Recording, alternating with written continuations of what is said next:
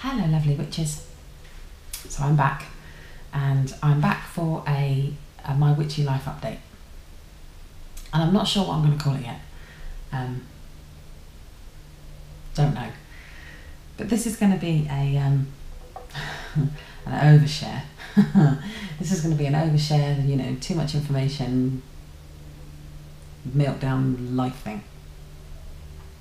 So today is um, the twelfth. Today's the twelfth of November, uh, and it's a Sunday. It's a good place to start. And next weekend, I will not be in my 30s anymore. Because on Friday of this week, um, I will be 40. And I just. Don't know. I just don't know. This is the truth. Um,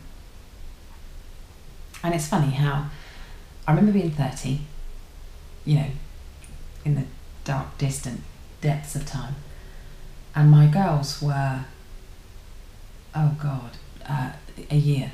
My, my youngest two, my twins, were a year old.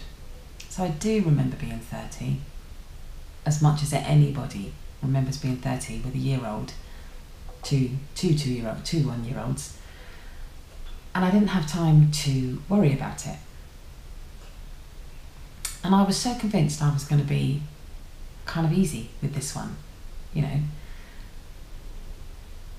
But I'm, I'm starting to get the anxiety, I'm starting to get the nerves, starting to feel a bit flat, which is dumb, which is a whole load of dumb. So, so, so yeah. So the basics of it is, is I'm 40 on Friday, and next weekend I won't be in my 30s anymore, and I'm feeling a bit crazy about that. So, I've been thinking, and I've been taking some kind of quiet time, and time just reconnecting with myself and you know goddess and and all that kind of thing, and I, I think it's really easy in the world that we live in now, which, you know, seems to be getting a little bit scarier every day. I think it's really easy to think that we have to set ourselves these, these huge big bucket lists.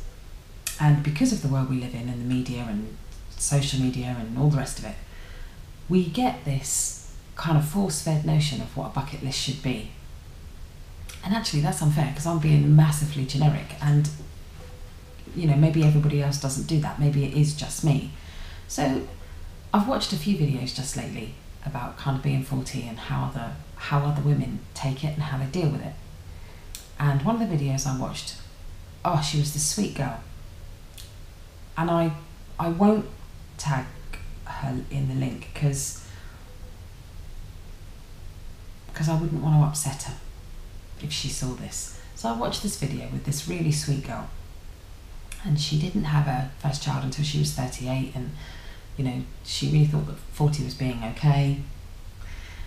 And she's got a bucket list and she wants to um, go to Vietnam and take her children to Disneyland and you know rent a RV and you know drive across America and and she wants to da, da, da, da, travel this and she wants to that. And and in the next breath she's like you know and I know this will never happen but but one day it will happen. And I'm watching this video of this sweet sweet girl and I just kind of thought, I'm a bit like that. I have these kind of crazy notions, which is okay, you know.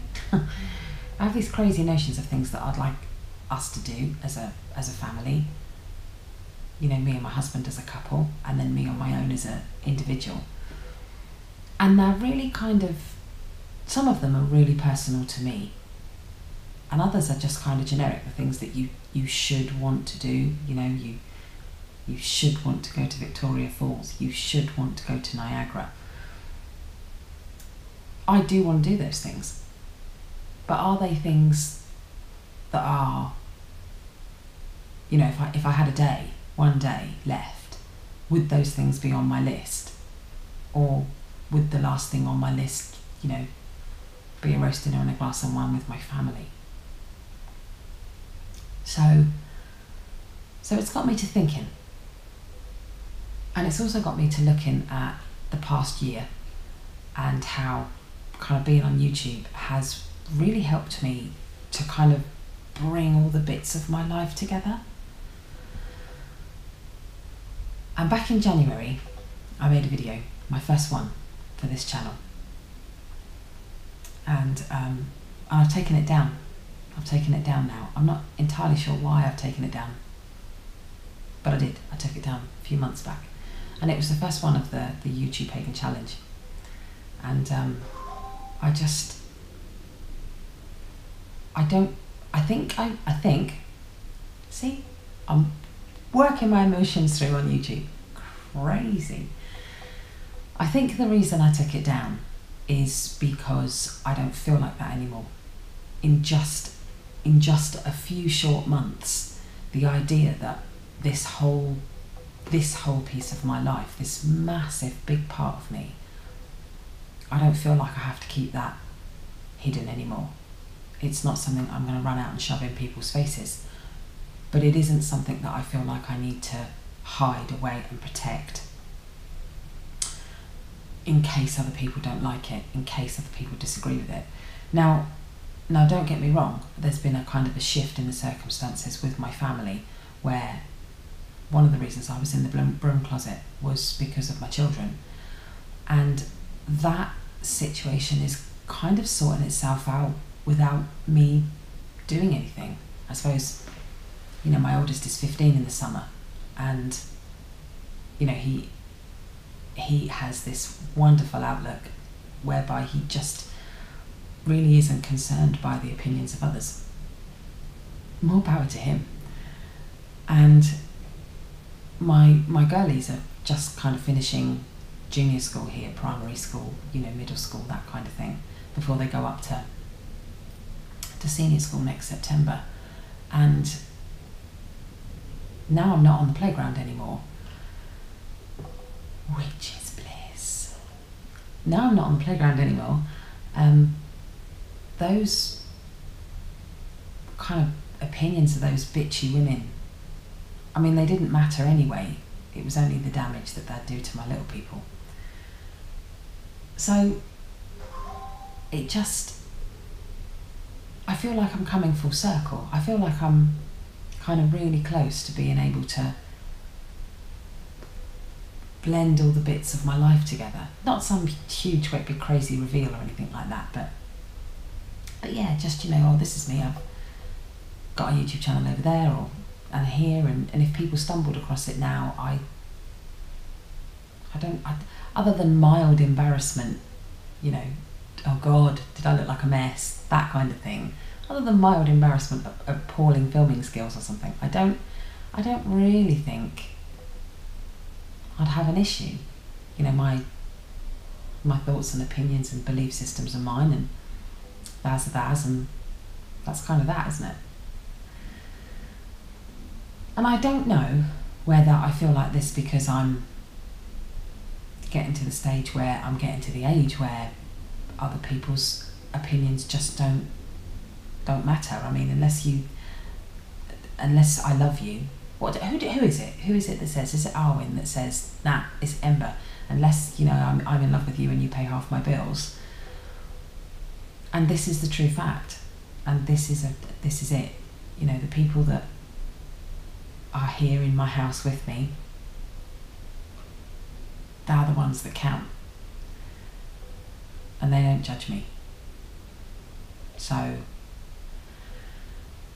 so in light of all kinds of political crap over here in the UK and in lights of all kinds of political crap that I know you're all struggling with over there in the US, I kind of think that although we perhaps need to be a bit careful, we also now need to be strong for each other, for everybody else.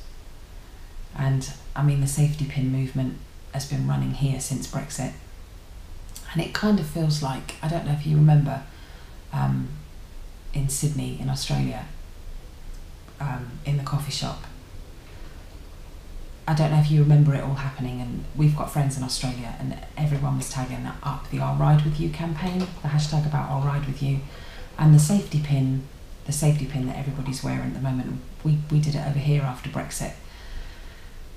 It feels like it's born out of the same the same motion, the same movement. And it just goes to show for me that there are far more nicer, tolerant types of us out there than not. And wow, I think I'm going to get a bit controversial. And even in light of the the Brexit vote and the Trump vote, even though they were kind of sweeping numbers of figures, I think that it's also worth bearing in mind that some people will have voted not because they were voting for Trump, Farage, Johnson. They weren't voting for intolerance. Some of them were voting literally because they had no other choice. And I've got friends and family members on both sides of the pond that have, that have, that have ended up going that way because they were so afraid that voting for the status quo was just as bad. And, you know, we had to make tough decisions and here in the UK this year, and I think that it's worth bearing in mind that people had to make tough decisions in the US too. And when you see this, it happened here. I mean, Facebook just became a glory hole of hate, and that's terrible. And I've seen a few posts from other witches on my uh, on my Facebook page that they're going back in the back in the closet. They're going back in the broom closet. They're taking their Facebook profiles down. They're protecting their family. It's the only way they feel safe. And and I get that. I do. I get that for them. But but we also can't can't let hate chase us away. We also can't let hate make other people afraid of us because we're a minority like any other. And I think as long as we stay true and calm and kind, it it will it will show, it will shine. And so and so it seems my my little overshare has probably helped me to understand that I am worried about being 40. But I am also feeling the pressure of kind of a crazy world. But, you know, like the tower card, we have to shake our foundations.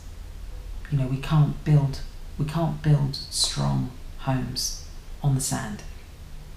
And maybe this is maybe this is what this is all about. The Brexit here, Trump there, maybe what it's all about. Maybe these people are are the the resistance, if you like. Who is it that said um, Oh, Steven Pressfield. Steven Pressfield says most of us have two lives the life we live and the unlived life within us. And between these two stands resistance. And I wonder if the way that we've always functioned, you know, within the system is one life and the life that we want to get to in the future as a as a country, as a society where we are super tolerant is the other life. And maybe this voting system in between us, the way it's all gone so kind of horribly awful, maybe that's the resistance. Maybe this is what we're fighting against. And I don't mean with violence and with hatred, but maybe these maybe these two political decisions are what we've got to overcome. Maybe. I don't know. My four legged creatures want to come in, and seemingly that is a symbol for me to shut up. So I, I'm going to go and cease my somewhat crazy, probably controversial, wild ramble. It was lovely to talk to you, lovely YouTubing people. Um, and I will see you later, witches. Bright blessings.